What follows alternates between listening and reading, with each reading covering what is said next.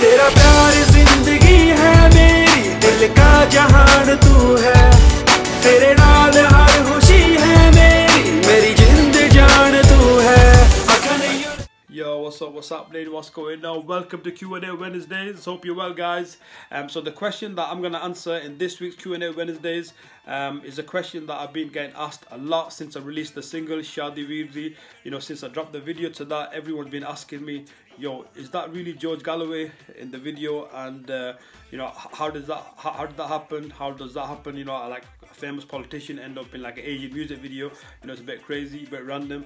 Um, so first of all, guys, that's right. It is George Galloway in the video. You know, dancing, vibing, chilling, having a good time. Um, so and how it came about was actually kind of random.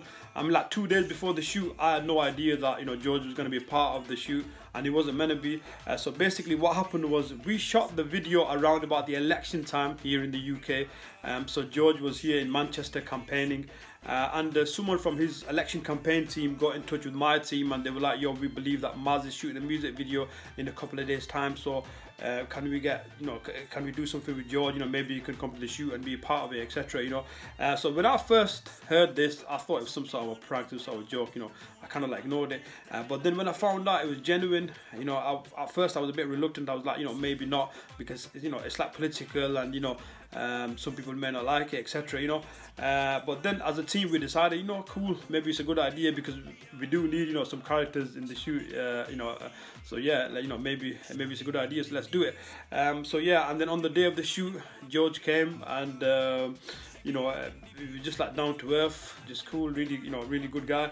And uh, you know, he was just getting on with everyone. He had a good time at the shoot as well, and he loved it. And I was very surprised that he actually, you know, knew me. I'm, I'm sure that he didn't know me really, but like he knew all my tracks. So he like he like doing his homework, man. He's like, yo, my favorite track of yours is Feel It Sonia, and by the way, where's Ziggy and all that kind of stuff. So you know, he pretended to be like a big Bonafide fan, but I'm sure he wasn't really. But uh, but nevertheless, great guy, you know, really nice guy, and you know, everyone loved him on the shoot and stuff. So that's how it came about, guys. You know, um, so yeah, so that's this week's Q and A Wednesdays, uh, guys. I'm gonna keep uh, these videos, like Q and A videos, uh, very short. You know, so I'm only gonna be answering like one or maybe two questions every week because I don't want to bore you.